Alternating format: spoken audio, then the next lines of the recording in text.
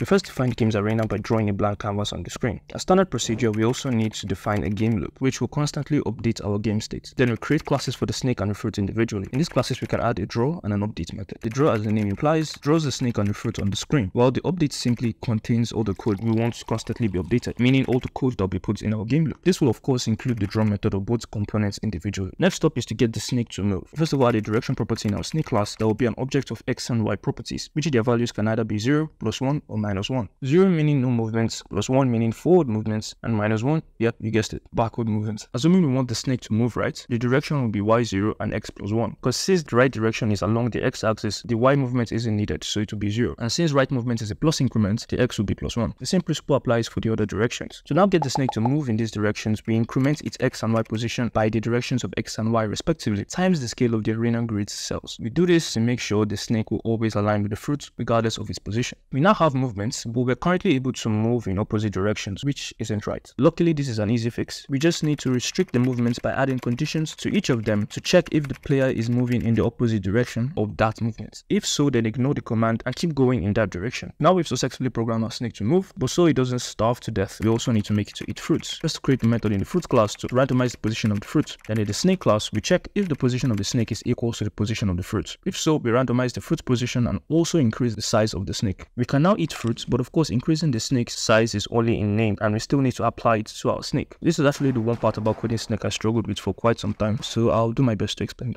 We need to first of all see the snake like an array of objects. Each value of the array represents a part of the snake with its x and y position. For the snake movements, it's simple. Every part of the snake will always move to the position of the body after it. I like to think of it as a formula. And since the head of the snake is the one leading the movement, we set the head to the value of the snake's x and y position. Then back in our draw method, rather than drawing just one snake, we loop through the entire snake and draw a square for each of them. For edge collisions, I've always liked the classic teleporting to the opposite edge. Doing this is quite easy. We simply check if the player has reached any of the edges of the canvas. If it has, we change its position to the opposite side of the edge. And lastly, for body collisions, we just have to loop through the snake array and then check if the head of the snake collides with any part of the snake. If so, we display a message saying the snake's dead and restart the game. And that's it. Give yourself a pat in the back because you've successfully programmed the game of Snake. Sorry if this whole video was just all technical stuff. I would have loved to add more silly jokes and memes, but there's only so much I can do within a span of two minutes. But I am thinking of making this into like a serious thing where we code Nokia type games in a span of a few minutes. Um, let me know if that's something you would like to see. I think it's a dope idea, so I'll probably still do it anyways.